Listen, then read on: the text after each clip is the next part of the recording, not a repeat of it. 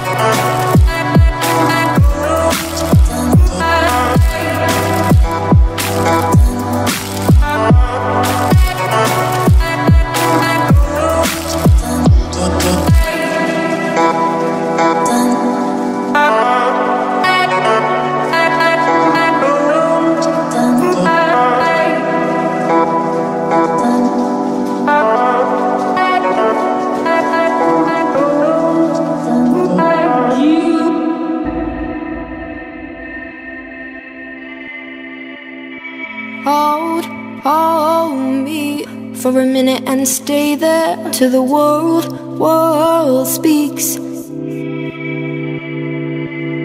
we can wait until later.